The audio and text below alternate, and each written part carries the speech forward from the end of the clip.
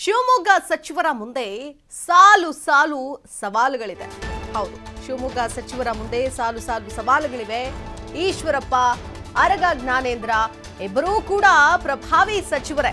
ಯಾರು ಏನ್ ಕಡಿಮೆ ಇಲ್ಲ.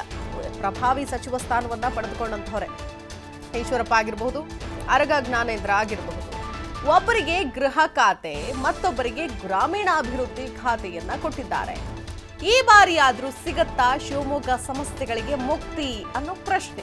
ಶಿವಮೊಗ್ಗ ಸಮಸ್ಯೆಗಳು ಸಾಕಷ್ಟಿವೆ ಹಾಸಿ ಹೊತ್ಕೊಳ್ಳೋ ಅಷ್ಟಿವೆ. ಸೊ ಇಂತಹ ಸಮಸ್ಯೆಗಳಿಗೆ ಈ ಸಚಿವರುಗಳಿಂದಲಾದ್ರೂ ಮುಕ್ತಿ ಸಿಗತ್ತಾ? ಹಲವಾರು ದಶಕಗಳಿಂದ ಹಲವಾರು ಸಮಸ್ಯೆಗಳು ಜೀವಂತವಾಗಿದೆ. ಈ ಸಮಸ್ಯೆಗಳಿಗೆ ಮುಕ್ತಿ ಕೊಡ್ತಾರಾ ಈಶ್ವರಪ್ಪ ಮತ್ತು ಅರಗ ಜ್ಞಾನೇಂದ್ರ? ಕಾನೂನು ತೊಡಕನ್ನ ನಿವಾರಿಸಿ ಸರ್ಕಾರ ಪರಿಹಾರವನ್ನ ನೀಡಬೇಕಿದೆ. ಸಮಸ್ಯೆ ಬಗೆಹರಿಸೋದಾಗಿ ಭರವಸೆ ನೀಡಿದ್ದಾರೆ. ಅರಗ ಜ್ಞಾನೇಂದ್ರ ಅವರು, ಎಷ್ಟರ ಮಟ್ಟಿಗೆ ಇದು ಈಡೇರತ್ತೆ, ಬಗೆಹರಿಯತ್ತೆ ಅನ್ನೋದನ್ನ ಕಾದ್ ನೋಡಬೇಕು. ಯಾಕಂದ್ರೆ ನಮ್ಮ ಭಾಗದ ಶಾಸಕರುಗಳು ಸಚಿವರಾಗಿದ್ದಾರೆ ಅಂತಂದ್ರೆ ಅವ್ರಿಗೂ ಎಲ್ಲೋ ಒಂದ್ ಕಡೆ, ಹೌದಪ್ಪ ನಮ್ಮ ಸಮಸ್ಯೆಗಳು ಈಗಾದ್ರೂ ಬಗೆಹರಿಯತ್ತೆ ಅಂತ ಅಂದ್ಕೊಂಡಿರ್ತಾರೆ. ಈ ಬಾರಿ ಆದ್ರೂ ಇನ್ನು ಈಶ್ವರಪ್ಪನವರು ಇದ್ದೇ ಇದ್ರು, ಸಚಿವ ಸ್ಥಾನವನ್ನು ಅಲಂಕರಿಸಿದ್ರು ಅಟ್ಲೀಸ್ಟ್ ಈ ಬಾರಿ ಇಬ್ಬಿಬ್ರು ಇದ್ದಾರೆ. ಈಗ ಯಾವ ನಿಟ್ಟಿನಲ್ಲಿ ಕೆಲಸ ಮಾಡ್ತಾರೆ, ಏನೆಲ್ಲ ಸಮಸ್ಯೆಗಳನ್ನ ಬಗೆಹರಿಸ್ತಾರೆ, ಏನು, ಏನಪ್ಪ ಅಂತ ಸಮಸ್ಯೆಗಳು ಅಂತ ಕೇಳಬಹುದು. ಸಾಕಷ್ಟಿವೆ. ಇನ್ನು ಶಿವಮೊಗ್ಗ ಅಂತ ಬಂದಂತಹ ಸಂದರ್ಭದಲ್ಲಿ ಸಾಕಷ್ಟು ಸಮಸ್ಯೆಗಳನ್ನು ನಾವು ಗಮನಿಸ್ತಾ ಹೋಗ್ಬೋದು. ಒಂದು, ಬಗರ್ ಹುಕುಂ ಅರ್ಜಿಯನ್ನು ವಿಲೇವಾರಿ ಮಾಡೋದು. ಮತ್ತೊಂದು, ಅರಣ್ಯವಾಸಿಗಳಿಗೆ ಹಕ್ಕು ಪತ್ರವನ್ನ ಹಂಚಿಕೆ ಮಾಡೋದು. ಇನ್ನು, ಶರಾವತಿ ಸಂತ್ರಸ್ತರಿಗೆ ಪರಿಹಾರ ಸಿಕ್ಕಿಲ್ಲ ಇನ್ನು ಕೂಡ. ನೀರಾವರಿ ಯೋಜನೆಗಳ ನಿರಾಶ್ರಿತರ ಸಮಸ್ಯೆ ಬಗೆಹರಿದಿಲ್ಲ ಒಂದು ಲಕ್ಷ ಬಗರ್ ಹುಕುಂ ಅರ್ಜಿಗಳ ವಿಲೇವಾರಿ ಬಾಕಿ ಇದೆ. ಲಿಂಗನಮಕ್ಕಿ ಡ್ಯಾಂ ನಿರಾಶ್ರಿತರಿಗೆ ಇನ್ನೂ ಕೂಡ ಪರಿಹಾರನೇ ಸಿಕ್ಕಿಲ್ಲ. ಇನ್ನು ಸಾವಿರದ ಒಂಬೈನೂರ ಅರವತ್ತೈದರಿಂದಲೂ ಕೂಡ ಪರಿಹಾರಕ್ಕಾಗಿ ನಿರಾಶ್ರಿತರು ಹೋರಾಟವನ್ನ ಮಾಡ್ತಾನೇ ಇದ್ದಾರೆ. ಭೂಮಿ ಹಕ್ಕನ್ನ ಪಡೆಯೋದಕ್ಕೆ ನಿರಂತರ ಹೋರಾಟ ಮಾಡ್ತಿದ್ದಾರೆ. ಪರಿಹಾರಕ್ಕೆ ಅರಣ್ಯ, ಕಾನೂನು, ವನ್ಯಜೀವಿ ಕಾಯ್ದೆ ಅಡ್ಡಿ ಬರ್ತಾ ಇದೆ ಪರಿಹಾರ ಕೊಡೋದಕ್ಕೆ. ಇನ್ನು ಪರಿಹಾರಕ್ಕೆ ಡಿ ನೋಟಿಫಿಕೇಶನ್ ಅಡ್ಡಗಾಲಾಗ್ತಾ ಇದೆ. ಅರಣ್ಯವಾಸಿಗಳಿಗೆ ಇನ್ನು ಕೂಡ ಹಕ್ಕು ಪತ್ರ ಸಿಕ್ಕಿಲ್ಲ. ಹೀಗೆ? ಅನೇಕ ಸಮಸ್ಯೆಗಳು, ಸಾಲು ಸಾಲು ಸಮಸ್ಯೆಗಳಿವೆ.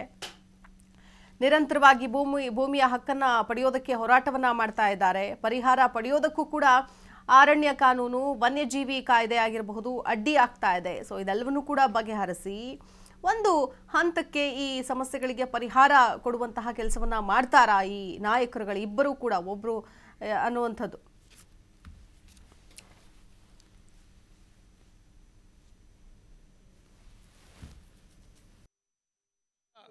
ನಾನು ರಾಘವೇಂದ್ರ ಅವರು ಹಾಲಪ್ಪನವರು ಈಶ್ವರಪ್ಪ ಎಲ್ಲರೂ ಇಲ್ಲಿ ಈ ಕ್ಷೇತ್ರ, ನಮ್ಮ ಜಿಲ್ಲೆಯ ಶಾಸಕರು ಎಲ್ಲರೂ ಸೇರಿ ತಾವೇನು ಹೇಳಿದ್ರಲ್ಲ, ಅರಣ್ಯ ಇರ್ಬೋದು, ಬಗರಕುಂ ಸಮಸ್ಯೆ ಇರ್ಬೋದು, ಅನೇಕ ಸಮಸ್ಯೆಗಳ ಬಗ್ಗೆ ಈಗಾಗಲೇ ಚರ್ಚೆ ಮಾಡಿದ್ದೀವಿ.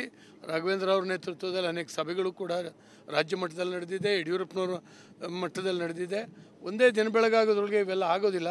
ಖಂಡಿತವಾಗೂ ಈ ಬಗ್ಗೆ ಪ್ರಾಮಾಣಿಕ ಪ್ರಯತ್ನ ನಾವು ಮಾಡ್ತಾಯಿದ್ವಿ ಆದಷ್ಟು ಶೀಘ್ರ ಅದಕ್ಕೊಂದು ಮುಕ್ತಿ ಕೊಡ್ತೀವಿ. ಥ್ಯಾಂಕ್ ಯು ಈಗ ನಾನು ರಾಘವೇಂದ್ರ ಅವರು ಹಾಲಪ್ಪನವರು ಈಶ್ವರಪ್ಪ ಎಲ್ಲರೂ ಇಲ್ಲಿ ಈ ಕ್ಷೇತ್ರ, ನಮ್ಮ ಜಿಲ್ಲೆಯ ಶಾಸಕರು ಎಲ್ಲರೂ ಸೇರಿ ತಾವೇನು ಹೇಳಿದ್ರಲ್ಲ, ಅರಣ್ಯ ಇರ್ಬೋದು, ಬಗರಕುಂ ಸಮಸ್ಯೆ ಇರ್ಬೋದು, ಅನೇಕ ಸಮಸ್ಯೆಗಳ ಬಗ್ಗೆ ಈಗಾಗಲೇ ಚರ್ಚೆ ಮಾಡಿದ್ದೀವಿ. ರಾಘವೇಂದ್ರ ಅವ್ರ ನೇತೃತ್ವದಲ್ಲಿ ಅನೇಕ ಸಭೆಗಳು ಕೂಡ ರಾಜ್ಯ ಮಟ್ಟದಲ್ಲಿ ನಡೆದಿದೆ, ಯಡಿಯೂರಪ್ಪನವ್ರ ಮಟ್ಟದಲ್ಲಿ ನಡೆದಿದೆ. ಒಂದೇ ದಿನ ಬೆಳಗಾಗೋದ್ರೊಳಗೆ ಇವೆಲ್ಲ ಆಗೋದಿಲ್ಲ. ಖಂಡಿತವಾಗೂ ಈ ಬಗ್ಗೆ ಪ್ರಾಮಾಣಿಕ ಪ್ರಯತ್ನ ನಾವು ಮಾಡ್ತಾಯಿದ್ವಿ ಆದಷ್ಟು ಎಸ್, ಖಂಡಿತವಾಗ್ಲೂ ನಾವು ಸಮಸ್ಯೆಯನ್ನ ಬಗೆಹರಿಸೇ ಹರಿಸ್ತೀವಿ ಅನ್ನೋದನ್ನ ಹೇಳಿದ್ರು ಬಗ ಬಗರ್ ಹುಕುಂ ಅರ್ಜಿ ವಿಷಯ ಆಗಿರಬಹುದು. ಹೀಗೆ ಸಾಲು ಸಾಲು ಸಮಸ್ಯೆಗಳಿದೆ, ನಮಗೆ ಗೊತ್ತಿದೆ, ಅದನ್ನ ಬಗೆಹರಿಸುವಂತಹ ಪ್ರಾಮಾಣಿಕ ಪ್ರಯತ್ನವನ್ನ ಮಾಡ್ತೀವಿ ಅಂತ ಹೇಳಿದ್ರು. ಸೊ ಯಾವಾಗ ಮಾಡ್ತಾರೆ? ಯಾಕಂದ್ರೆ ಈ ಇಬ್ಬರು ಸಚಿವರುಗಳನ್ನು ನಂಬಿಕೊಂಡಿದ್ದಾರೆ, ಕ್ಷೇತ್ರದ ಜನತೆ ಆಗಿರಬಹುದು, ಜೊತೆಗೆ ನಿರಾಶ್ರಿತರ ಸಮಸ್ಯೆ, ನೀರಾವರಿ ಯೋಜನೆಗಳ ನಿರಾಶ್ರಿತರ ಸಮಸ್ಯೆಗಳಾಗಿರಬಹುದು, ಬಗರ್ ಹುಕುಂ ಸಮಸ್ಯೆ ಆಗಿರಬಹುದು ಇವರೆಲ್ಲರೂ ಕೂಡ ಅಟ್ಲೀಸ್ಟ್ ಈ ಬಾರಿಯಾದರೂ ಈ ಸಚಿವರುಗಳು ನಮ್ಮ ಸಮಸ್ಯೆಯನ್ನ ಬಗೆಹರಿಸ್ತಾರಪ್ಪ ಅಂತ. ಒಂದು ಕಡೆ ಲಿಂಗನಮಕ್ಕಿ ಡ್ಯಾಮ್ ನಿರಾಶ್ರಿತರಿಗೆ ಪರಿಹಾರ ಸಿಕ್ಕಿಲ್ಲ.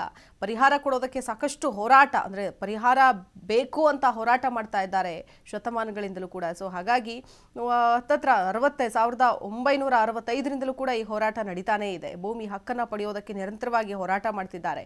ಇವರೆಲ್ಲರ ಸಮಸ್ಯೆ ಒಟ್ಟಾ ಒಟ್ಟಾರೆಯಾಗಿ ಬಗೆಹರಿಸ್ತಾ ಇದ್ರು ಕೂಡ, ಒಟ್ಟಾಗಿ ಬಗೆಹರಿಸ್ತಾ ಇದ್ರು ಕೂಡ ಅಟ್ಲೀಸ್ಟ್ ಒಂದೊಂದಾದ್ರೂ ಈ ಸಮಸ್ಯೆಗಳನ್ನ ಬಗೆಹರಿಸ್ತಾರಾ ಈ ಸಚಿವರುಗಳು ಅನ್ನೋದು ಈಗಿರುವಂತಹ ಪ್ರಶ್ನೆ. ಹಾಗಾಗಿನೇ ಜನ ಒಂದು ನಿಟ್ಟುಸಿರು ಬಿಡಬಹುದಾ? ಅಥವಾ ಯಾವಾಗ ಇವರು ಸಮಸ್ಯೆಗಳ ಬಗೆಹರಿಯತ್ತೆ ಅಂತಾನೆ ಕೇಳ್ತಿದ್ದಾರೆ. ಈಶ್ವರಪ್ಪನವರು ಇಲ್ಲಿವರೆಗೂ ಯಾವುದೇ ವಿಚಾರಕ್ಕೆ ಸಂಬಂಧಪಟ್ಟಂತೆ ತಲೆ ಕೆಡಿಸಿಕೊಂಡಂತೆ ಕಾಣಿಸ್ತಾ ಇಲ್ಲ. ಸೊ ಅಟ್ಲೀಸ್ಟ್ ಇನ್ನು ಮುಂದೆ ಈ ಇಬ್ಬರು ನಾಯಕರು ಸೇರಿ ಈ ಸಮಸ್ಯೆಗಳಿಗೆ ಪರಿಹಾರ ಹುಡುಕುವಂತಹ ಕೆಲಸವನ್ನು ಮಾಡ್ತಾರಾ? ಅಲ್ಲಿನ ಸಂತ್ರಸ್ತರಿಗೆ ನಿಟ್ಟುಸಿರು ಬಿಡುವಂತಹ ಒಂದು ವಾತಾವರಣವನ್ನು ಕಲ್ಪಿಸಿ ಕೊಡ್ತಾರಾ? ಇದೆಲ್ಲವನ್ನು ಕೂಡ ಕಾದು ನೋಡಬೇಕಾಗತ್ತೆ. ಹಲವಾರು ದಶಕಗಳಿಂದ ಹಲವಾರು ಸಮಸ್ಯೆಗಳು ಜೀವಂತವಾಗೇ ಇದೆ.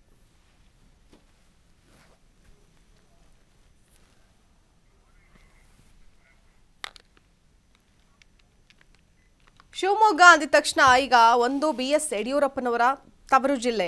ಯಾಕಂದರೆ ಅಭಿವೃದ್ಧಿ ಅಂತ ಅದನ್ನು ಹೊರತುಪಡಿಸಿ ಅನೇಕ ಸಮಸ್ಯೆಗಳಿದೆ. ಅವರೇ ಸಿ ಎಂ ಆದಾಗಿನಿಂದಲೂ, ಆದಾಗೂ ಕೂಡ ಈ ಸಮಸ್ಯೆಗಳು ಬಗೆಹರಿದಿಲ್ಲ. ಅಟ್ಲೀಸ್ಟ್ ಈಗ ಈಗಲಾದರೂ ಬಗೆಹರಿಯತ್ತಾ ಅಂತ ಅಲ್ಲಿನ ಜನತೆ ಕಾಯ್ತಾ ಇದ್ದಾರೆ. ಸಾಕಷ್ಟು ದಶಕಗಳಿಂದಲೂ ಕೂಡ ಸಮಸ್ಯೆಗಳು ಇದೆ. ಕಾನೂನು ತೊಡಕು ಕೂಡ ಇದೆ ಇದಕ್ಕೆ ಬಗೆಹರಿಸೋದಕ್ಕೆ ಅಂತ ಹೇಳ್ತಿದ್ದಾರೆ. ಈ ಕುರಿತು ಡೀಟೇಲ್ಸ್ ಕೊಡೋದಕ್ಕೆ ನಮ್ಮ ಪ್ರತಿನಿಧಿ ನವೀನ್ ದೂರವಾಣಿ ಸಂಪರ್ಕದಲ್ಲಿ ಜಾಯ್ನ್ ಆಗ್ತಾ ಇದ್ದಾರೆ. ನವೀನ್ ಗುಡ್ ಮಾರ್ನಿಂಗ್ ಒಂದು ಕಡೆ ಇದೇ ಕ್ಷೇತ್ರದ ನಾಯಕ, ಮಾಜಿ ಸಿ ಎಂ ಆಗಿದ್ದಂಥವರು. ಈಗ ಇಬ್ಬಿಬ್ಬರು ಶಾಸಕರು. ಅಟ್ಲೀಸ್ಟ್ ಇವರಾದರೂ ನಮ್ಮ ಸಮಸ್ಯೆಗಳನ್ನು ಬಗೆಹರಿಸ್ತಾರಪ್ಪ ಅಂತೇಳಿ ಯಾಕಂದರೆ ಬಗರ್ ಹುಕುಮ್ ಆಗಿರ್ಬೋದು, ಅದರ, ಅದ್ರ ಜೊತೆಗೆ ಬೇರೆ ಬೇರೆ ಸಮಸ್ಯೆಗಳು, ಬೇರೆ ಬೇರೆ ಸಮಸ್ಯೆಗಳು, ಜನರು ಪರಿಹಾರ ಸಿಕ್ಕಿಲ್ಲ ಅಂತ ಆಗಿರ್ಬೋದು, ಭೂಮಿ ಹಕ್ಕಾಗಿರ್ಬೋದು ಹೀಗೆ ಇದೆಲ್ಲವನ್ನೂ ಕೂಡ ಒಟ್ಟಾರೆಯಾಗಿ ನೋಡಿದಾಗ ಸಾಲು ಸಾಲು ಸಮಸ್ಯೆಗಳ ಸವಾಲುಗಳೇ ಇದೆ.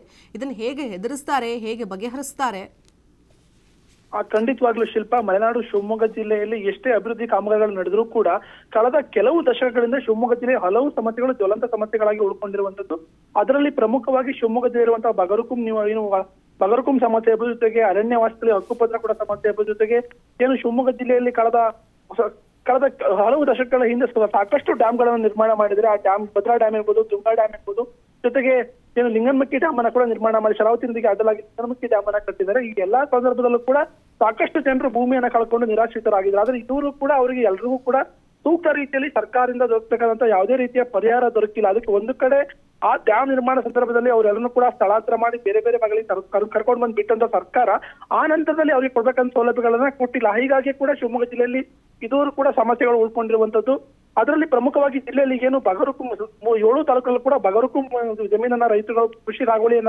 ಮಾಡ್ತಾ ಇದ್ದಾರೆ. ಅದು ಸರಿಸುಮಾರು ಒಂದು ಲಕ್ಷಕ್ಕೂ ಹೆಚ್ಚು- ಹೆಚ್ಚು ಅರ್ಜಿಗಳು ಇನ್ನು ಸಕ್ರಮಕ್ಕಾಗಿ ಸರ್ಜಿ, ಸಲ್ಲಿಕೆ ಆಗಿವೆ. ಅವು ಯಾವ ಕೂಡ ಇದುವರೆಗೂ ಕೂಡ ವಿಲೇವಾರಿ ಆಗಿಲ್ಲ. ಈ ಹಿಂದೆ ಕಾಗೋ ತಿಮ್ಮಪ್ಪನವರು ಕಂದಾಯ ಸಚಿವರಾಗಿದ್ದಾಗ ಒಂದಷ್ಟು ಆಸಕ್ತಿಯನ್ನ ವಹಿಸಿದ್ರು. ಆ ಸಂದರ್ಭದಲ್ಲಿ ಎಲ್ಲರೂ ಕೂಡ ಹಕ್ಕುಪತ್ರವನ್ನ ಕೊಡ್ಬೇಕಂತ ಒಂದಷ್ಟು ಕ್ರಮವನ್ನ ವಹಿಸಿದ್ರು. ಆದ್ರೆ ಆ ನಂತರದಲ್ಲಿ ಕಾಂಗ್ರೆಸ್ ಸರ್ಕಾರ ಹೋದ ನಂತರದಲ್ಲಿ ಈಗ ಮತ್ತೆ ಅದು ಮೂಲೆ ಗುಂಪಾಗಿರುವಂತದ್ದು ಹಾಗಾಗಿ ಯಾರಿಗೂ ಕೂಡ ಇದುವರೆಗೂ ಕೂಡ ಏನು ಒಂದು ಲಕ್ಷ ಅರ್ಜಿ ಸಲ್ಲಿಕೆ ಆಗಿದ್ರು ಕೂಡ ಯಾರಿಗೂ ಕೂಡ ಇನ್ನೂ ಹಕ್ಕುಪತ್ರವನ್ನ ಕೊಟ್ಟಿಲ್ಲ. ಅದ್ರ ಜೊತೆಗೆ ಅರಣ್ಯ ಅರಣ್ಯವಾಸಿಗಳು ಕೂಡ ಸಾಕಷ್ಟು ಸಮಸ್ಯೆ ಎದುರಾಗ್ತದೆ. ಯಾಕಂದ್ರೆ ಅರಣ್ಯದ ಅಂಚಿಗೆ ಹೊಂದಿಕೊಂಡಿರುವಂತಹ ಗ್ರಾಮಗಳಲ್ಲಿ ಅರಣ್ಯದ ಕಾನೂನು ಒಂದಕ್ಕೆ ನೋಡಕ್ಕಾದ್ರೆ ವನ್ಯಜೀವಿ ಕಾಯ್ದೆಗಳು ಕೂಡ ಈ ಎಲ್ಲಾ ರೀತಿಯ ಏನು ಹಕ್ಕುಪತ್ರ ಕೊಡ್ಲಿಕ್ಕೆ ಸಮಸ್ಯೆ ಉಂಟು ಮಾಡ್ತಾ ಇರುವಂತದ್ದು ಅದರ ಜೊತೆಗೆ ಏನು ಸಾವಿರದ ಒಂಬೈನೂರ ಅರವತ್ನಾಲ್ಕರಲ್ಲಿ ಲಿಂಗನಮಕ್ಕಿ ಡ್ಯಾಮ್ ಸಾಗರ ತಾಲೂಕಿನಲ್ಲಿ ಕಟ್ತಾರೆ ಆ ಸಂದರ್ಭದಲ್ಲಿ ಸಾಕಷ್ಟು ಸಂಖ್ಯೆ ಜನರನ್ನ ಸ್ಥಳಾಂತರ ಮಾಡಿ ಸಾಗರ, ಶಿವಮೊಗ್ಗ ಜೊತೆಗೆ ಬೇರೆ ಬೇರೆ ಭಾಗದಲ್ಲಿ ಇವತ್ತು ಕೂಡ ಬದುಕನ್ನ ಕಟ್ಕೊಂಡಿಲ್ಲ. ಅವರಿಗೂ ಕೂಡ, ಇದುವರೆಗೂ ಕೂಡ ಸರ್ಕಾರ ಏನು ಭೂಮಿಯನ್ನ ಮೀಸಲಿಟ್ಟಿತ್ತು, ಆ ಮೀಸಲನ್ನ ಡಿನೋಟಿಫೈ ಮಾಡಿದ್ರೆ ಯಾರಿಗೂ ಕೂಡ ಹಕ್ಕುಪತ್ರವನ್ನ ಕೊಡ್ಲಿಕ್ಕಾಗಿಲ್ಲ. ಹಾಗಾಗಿ ಈ ರೀತಿಯ ಸಮಸ್ಯೆಗಳು ಶಿವಮೊಗ್ಗ ಜಿಲ್ಲೆಯಲ್ಲಿ ಕಳೆದ ಹಲವು ದಶಕಗಳಿಂದ ಉಳ್ಕೊಂಡಿರುವಂತದ್ದು. ಜೊತೆಗೆ ಪ್ರತಿ ಬಾರಿ ಚುನಾವಣೆಯಲ್ಲಿ ಕೂಡ ಏನು, ಯಾರ್ಯಾರು ಪ್ರ- ಪ್ರತಿ ಪಕ್ಷದವರು ಕೂಡ ಪ್ರಣಾಳಿಕೆಯಲ್ಲಿ ಈ ವಿಷಯವನ್ನ ಪ್ರಮುಖವಾಗಿ ಸೇರ್ಕೊಳ್ತಾರೆ. ಆದ್ರೆ ಅಧಿಕಾರಕ್ಕೆ ಬಂದ ನಂತರದಲ್ಲಿ ಯಾರು ಕೂಡ ಈ ರೀತಿಯ ಸಮಸ್ಯೆಗಳನ್ನ ಬಗೆಹರಿಸಿಲ್ಲ ಹಾಗಾಗಿ ಇದ್ರ ಜೊತೆಗೆ ಇತ್ತೀಚೆಗೇನು ಕಳೆದ ಕೆಲವು ವರ್ಷಗಳಿಂದ ಶಿವಮೊಗ್ಗ ಜಿಲ್ಲೆಯಲ್ಲಿ ವಿಮಾನೀಕರಣವನ್ನ ಮಾಡ್ಬೇಕಂತ ಸೋಗಾನೆ ಕೂಡ ಸರಿ ಸುಮಾರು ಏಳ್ನೂರು ಎಕರೆನ ವಶಪಡಿಸಿಕೊಂಡ್ರು ಅಲ್ಲಿದ್ದಂತ ರೈತರುಗಳನ್ನ ಬೇರೆ ಭಾಗಕ್ಕೆ ಸ್ಥಳಾಂತರವನ್ನ ಮಾಡಿದ್ರು. ಅವರಿಗೆ ಕೊಡ್ತೀವಿ ಅಂತ ಕೂಡ ಹೇಳಿದ್ರು. ಆ, ಅವರಿಗೂ ಕೂಡ ಇದುವರೆಗೂ ಏನು ವಿಮಾನ ನಿಲ್ದಾಣ ಕಾಮಗಾರಿ ಈಗಾಗಲೇ ನಡೀತಾ ಇದೆ. ಅವರಿಗೂ ಕೂಡ ನಿವೇಶನವನ್ನ ಇದುವರೆಗೂ ಕೂಡ ಸರ್ಕಾರ ಕೊಟ್ಟಿಲ್ಲ. ಹೀಗಾಗಿ ಕಳೆದ ಕೆಲವು ದಶಕಗಳಿಂದ ಕೂಡ ಶಿವಮೊಗ್ಗ ಜಿಲ್ಲೆ ಅರಣ್ಯ ಒಕ್ಕಗಳು ಹೋಗಿರ್ಬೋದು, ಜೊತೆಗೆ ಬಗರುಕುಂ ಸಮಸ್ಯೆ ಇರ್ಬೋದು, ಜೊತೆಗೆ ಸಂತ್ರಸ್ತ ನೀರಾವರಿ ಯೋಜನೆಗಳ ಸಂತ್ರಸ್ತರಿಗೆ ಪರಿಹಾರವನ್ನ ಕೊಟ್ಟಿಲ್ಲ. ಹಾಗಾಗಿ ಈ ಅವಧಿಯಲ್ಲಾದ್ರೂ ಕೂಡ ಈ ಹಿಂದೆ ಮುಖ್ಯಮಂತ್ರಿ ಬಿ ಎಸ್ ಯಡಿಯೂರಪ್ಪನವರು ಕೂಡ ಶಿವಮೊಗ್ಗ ಜಿಲ್ಲೆಯ ಮುಖ್ಯ ಪ್ರತಿನಿಧಿಸಿ ಮುಖ್ಯಮಂತ್ರಿ ಆಗಿದ್ದಾರೆ. ಅವರಿದ್ದಾಗಲೂ ಕೂಡ ಈ ರೀತಿಯ ಸಮಸ್ಯೆಗಳು ಬಗೆಹರಿದಿಲ್ಲ. ಹಾಗಾಗಿ ಮುಂದಿನ ಹಂತದಲ್ಲಿ ಪ್ರಸ್ತುತ ಗೃಹ ಸಚಿವರಿದ್ದಾರೆ, ಗ್ರಾಮೀಣ ಈಶ್ವರಪ್ಪನವರು ಈಶ್ವರಪ್ಪನವರಿದ್ದಾರೆ. ಈ ಒಂದು ವರ್ಷಗಳ ಅವಧಿಯಲ್ಲಾದ್ರೂ ಈ ಒಂದು ಸಮಸ್ಯೆಗಳನ್ನ ಬಗೆಹರಿಸ್ತಾನೆ ಜನ ನಿರೀಕ್ಷೆ ಇಟ್ಕೊಂಡಿದ್ದಾರೆ. ಈಗಾಗಲೇ ಗೃಹ ಸಚಿವರು ಕೂಡ ಈ ಬಗ್ಗೆ ಮಾತನಾಡಿರುವಂತದ್ದು. ಆದಷ್ಟು ಬೇಗ ಕಾನೂನು ತೊಡಕುಗಳನ್ನ ನಿವಾರಿಸಿ ಸಮಸ್ಯೆಗಳನ್ನ ಬಗೆಹರಿಸ್ತೀವಿ ಅಂತ ಹೇಳಿದ್ದಾರೆ. ಆದ್ರೆ ಎಷ್ಟರ ಮಟ್ಟಿಗೆ ಈ ಸಮಸ್ಯೆಯನ್ನ ಬಗೆಹರಿಸ್ತಾರೆ? ಮತ್ತೆ ಮುಂದಿನ ದಿನ ಪ್ರಣಾಳಿಕೆಯಲ್ಲಿ ಈ ವಿಷಯಗಳು ಸೇರ್ಕೊಳ್ತಾವ ಅನ್ನೋದು ಈಗ ಕಾದ್ಕೊಂಡು ನೋಡ್ಬೇಕಂತ ಶಿಲ್ಪ. ओके धन्यवाद नवीन डिटेल्स का।